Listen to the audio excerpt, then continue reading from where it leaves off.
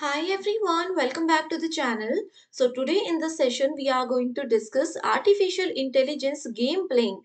Along with the introduction to game playing, I will definitely share with you its benefits as well as some algorithms that will definitely help you get a clear idea about how game playing works in AI. So this is our lecture number 29 that is very important. So students, as we all know, artificial intelligence has transformed the way we approach games, not just as a form of entertainment, but also as a platform for innovation and research, right? So AI is a fascinating and widely studied area where algorithms and systems are designed to play and accelerate games. Also, we can say from mastering classic board games like chess, tic-tac-toe, Go game to excel in complex video games, AI's prowess in games playing has become a fascinating field of study, right? So in this session, I will introduce game playing in AI and also explores the benefits it offers to students and the broader society. So now let's just start the discussion. So at first students, you should note that what is game playing in AI. Before moving to the key concepts, I will definitely share with you what is the game playing in AI. So basically, game playing in AI involves designing the systems. It involves the designing the systems that can play games intelligently, often completing with or suppressing human abilities means with or without human activities or human abilities. Games provide an excellent testing grounds for ai techniques just because they combine elements of strategies decision making and problem solving in controlled environment. That is very important point. All right?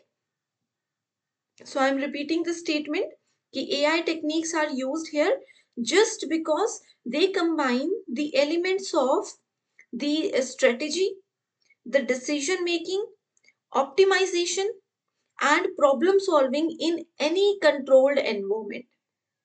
AI game playing systems rely on some algorithms that I have told you earlier. I'm repeating the statement key AI game playing systems rely on some algorithms like first can be your search algorithm, another can be machine learning, and another can be heuristics.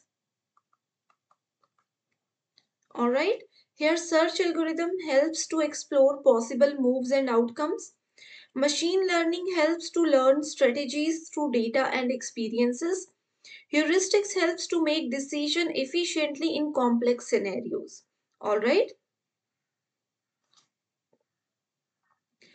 Now one question definitely I would like to discuss with you that why use games on games to study AI. Okay, so the first reason for this is your clear rules. This is very important for all AI students. Games typically have well-defined rules, making them easier to model and analyze. That's why every student must study AI games. Another reason can be measurable success.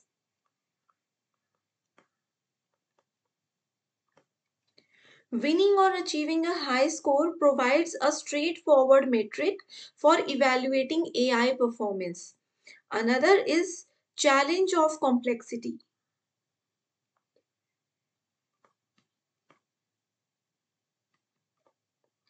Challenge of complexity. So games like chess, StarCraft, it involves millions of possible moves, right? So pushing AI to innovate here. That's why we can uh, we must use rules for uh, rules of AI in our study. Next can be your adaptation.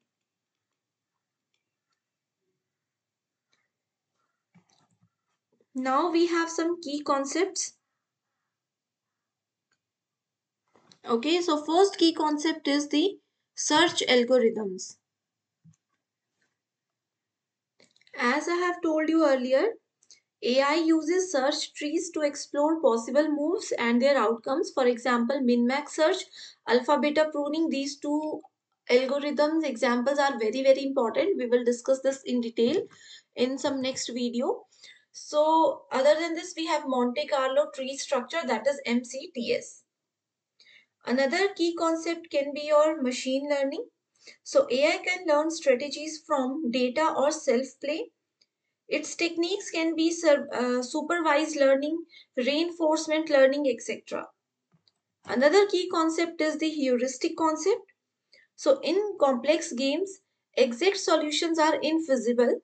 So heuristics simplify decision making by focusing on promising moves, on best moves we can say. Adaptation means AI systems adapt to rules, strategies, or styles of opponents, learning dynamically. So, all these are very, very important points. Other than this, I will share with you some techniques in artificial intelligence game playing. So, first, first technique is tree search. Okay, so for tree search, we have two algorithms. First is min-max algorithm or another is alpha beta pruning algorithm.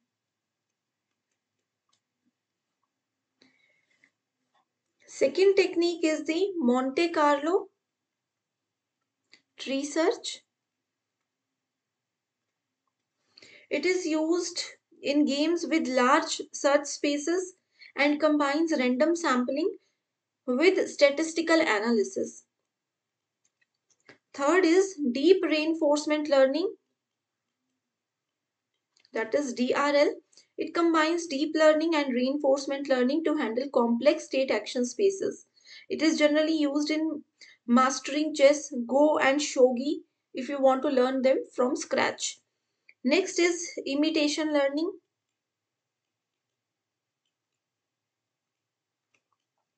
So AI learns by observing expert gameplay and mimicking the strategies. That is the imitation learning. Other than this, we can also use game algorithms in other applications like robotics for real-time decision making and strategic planning. Another application beyond game is your healthcare optimize for optimization of treatment and strategies. Next can be finance, predictive modeling and decision making. Another is your operation research. It is for solving logistics and scheduling the problems. All right, everyone. So these are the uh, techniques and these are the applications where we can use AI other than games. All right. So I hope everything is clear till now. If students you have any doubt, you can definitely comment below. I will surely help you.